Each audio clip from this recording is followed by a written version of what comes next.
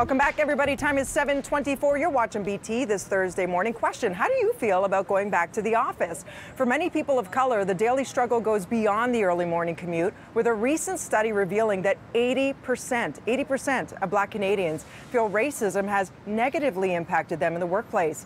Here to tell us more is CEO of Gray Matter Health, Marci Gray, and joining her is lawyer Samantha Peters, who celebrate, or sorry, who created the toolkit called Black Femme Legal to help support and empower black queer workers. Good morning to you both. How are you? Good morning. I'm good, morning. Good to see you. Marci, we're going to start with you. Tell us about this study. Yeah, so we just at first need to acknowledge that racism does exist in Canada and is impacting the workforce.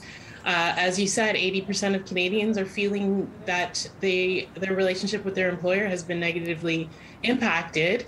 Uh, we're also seeing that Canadians in general are concerned about systemic racism and racial injustice. And so this is setting the stage for 87% of Black, uh, Black Canadians uh, are thinking that they don't want to return to the workforce they would rather stay online. And that's because in the workplace, they were experiencing racial discrimination, mm. microaggressions, and they were facing the, um, they were facing a lot of the uh, glass ceiling that they felt like they were not getting ahead in the workplace. Mm-hmm. So, Samantha, you've created Black Femme Legal. Tell us about it. What started it? What served as the catalyst? And what types of services do you offer? Yeah, so Black Femme Legal is a Law Foundation of Ontario funded workplace toolkit for Black queer women, femmes, and gender diverse folks across the 2S LGBTQI plus spectrum in Ontario needing workplace related support. Currently led by myself, which is the Director of Legal Initiatives and Public Interest, Tonight, who is the Director of Public Legal Education, and Sharifa, who is the Director of Legal and Legislative Research. So Black Femme Legal was born out of an informal working group of Black queer women, femmes, and gender diverse folks who experienced harm in the workplace, including but not limited to anti Black violence, discrimination, harassment, exploitation, underpayment, hypersurveillance, and even massage misogynoir, which is a term coined by Moya Bailey over 10 years ago, which is the anti Black racist misogyny that Black women experience. And as we all use various forms of accountability mechanisms in order to heal, Black Femme Legal seeks to curate all of the resources that have supported us in various ways as a means to support other Black queer women femmes and gender diverse folks navigating similar experiences. And so as a result, the purpose of Black Femme Legal is threefold. First, to provide legal education and information. Second, to provide legal referrals and services. And third, to provide non legal resources and support to Black 2S LGBTQI plus workers across Ontario through a Black femme centered approach, lens, and praxis. And as a femme myself, which is a Black queer, which is a queer identity rather, being femme centered is incredibly important to me. So as a result, much of our team and our advisory committee is made up of Black queer women and femmes. Marci, I'm going to leave the last word with you.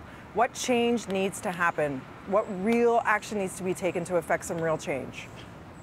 So, first, employers need to make anti Black racism a priority and go for some quick wins. If you can make online work environments possible for your employees, why not do that as advocacy for some of your Black employees?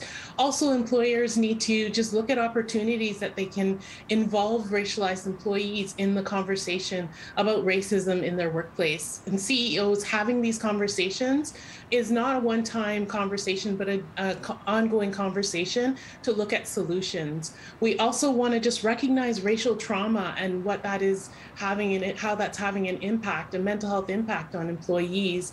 And by doing that, we can then work with people like me who come into the workplace and help you to work on some of these racial traumas that are happening and psychological health and safety that's um, increasing that and improving that in your workplace.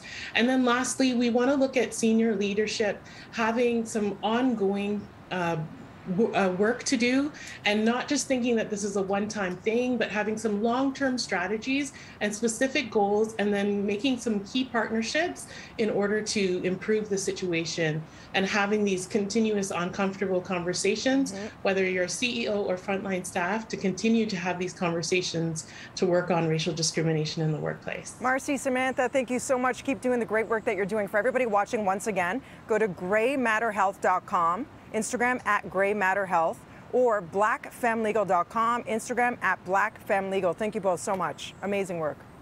Thanks, Gina. Thank you so much. Coming up, friends, around 840, we're celebrating National Potato Day, the one and only. A hot stud of a spud. we're gonna peel back the layers, friends. And you know how we're celebrating? With poutine. I personally like them roasted, but whatevs. We're doing a little poutine, okay? That's coming up in a bit.